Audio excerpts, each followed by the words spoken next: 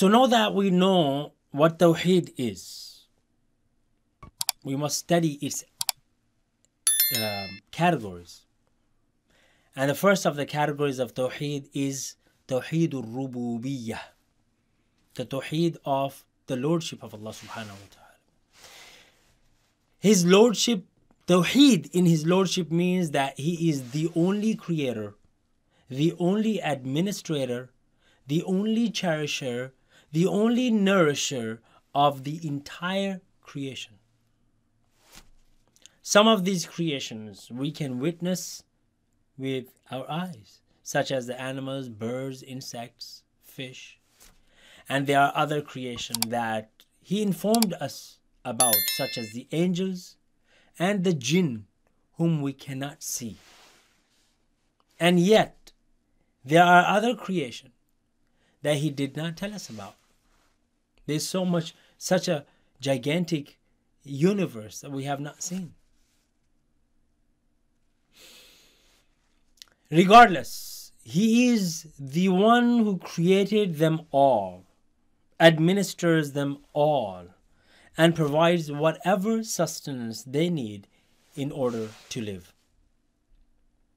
And He is the one who created all matter, energy, space, and time, which is the universe. He brought everything into existence because He's the creator and everything else besides him is the creation. Alhamdulillah, Rabbil Alameen. He's the Rabb, the rest is Alameen, the creation. That's the Lordship of Allah subhanahu wa ta'ala. That's the Tawheed in His Lordship. He is the only creator. And then His names and attributes. His names and attributes are only known through revelation because there is nothing like him. There's no way we can know him through creation. He is the one who has to reveal himself to us. And through revelation, it is he who has informed the humanity of his names and attributes. So Allah subhanahu wa ta'ala is not simply a concept. Rather, he is the greatest being that exists. The greatest being that exists that brought everything else into existence. Was it not for him, nothing would exist. He created all other beings. However, his being is not contingent on anything or anyone, while all else is in need of him at all times. This is the meaning of one of his names, Al Ghani free of need. But everyone and everything needs him. Subhanallah, there's a chain of dependency. Every creation has a chain of dependency that needs him to bring it to existence and to sustain it. You see, me, I needed my mother and father to come into existence. They needed their mother and father and so on and so forth. This is called the chain of dependency. It goes all the way back, right? All the way back to the first humans, Adam and Eve. And Adam and Eve, where did they come from?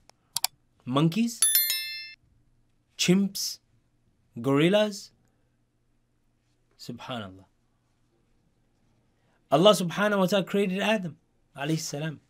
And just like Allah subhanahu wa ta'ala created the Adam and the humans after him that came from him and Eve, likewise Allah Azza wa Jal started the creation of animals, all sorts of animals. And Allah subhanahu wa ta'ala started the chain of birds. And Allah subhanahu wa ta'ala started the chain of fish. And Allah subhanahu wa ta'ala, all the creation. He is the one that started it all. Subhanahu wa ta'ala. And that's why he's Al Khaliq, the one and only creator. So all of the creation goes back to him, subhanahu wa ta'ala. He brought them into existence. Yet his existence is not contingent on anyone or anything, while all else is contingent upon him. And that is only logical. That is only mathematical. Because There has to be that one. That one in this chain of dependency, in this contingent chain, right? That starts that one. If there's no one, there is none. If there's no one, there is none. It is Allah subhanahu wa ta'ala who must start everything. Because this chain of dependency was it to continue? Was it to continue backwards, unending? This regress, unlimited regress of dependency. It the only result that it leads to is non-existence. Nothing can exist.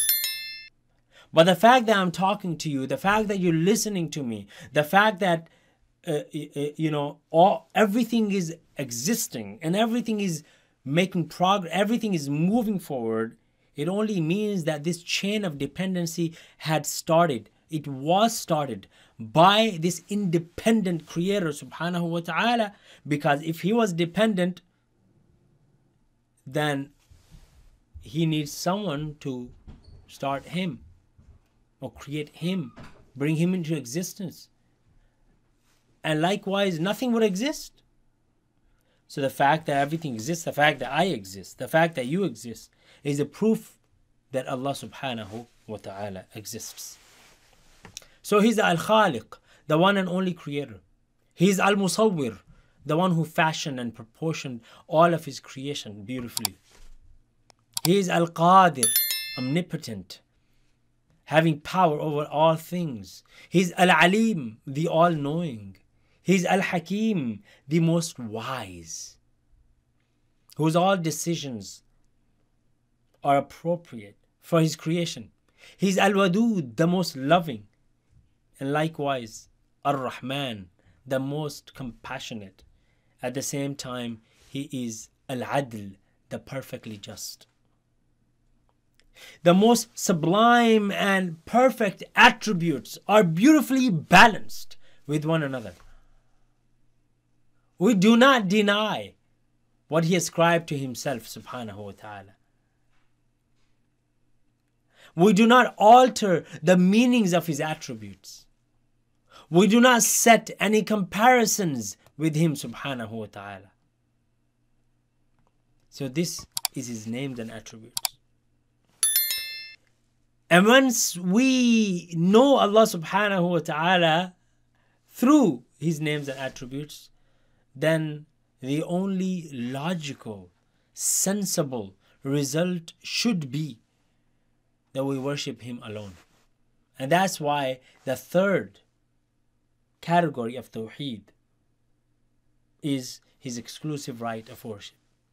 His right of worship means that when human beings or any of His creation realizes the fact that even our very existence is contingent upon Him, then we must naturally submit to Him in worship. And we do not turn to any of His creation in worship. This is the root of Islam, and all goodness extends from it, meaning from the Tawheed. And the greatest of evils and injustice is to turn in worship to anyone or anything other than Him subhanahu wa ta'ala. It is called shirk. And even worse than shirk is kufr, which is to deny His very existence. Both shirk and kufr lead the person to eternal punishment in the hellfire.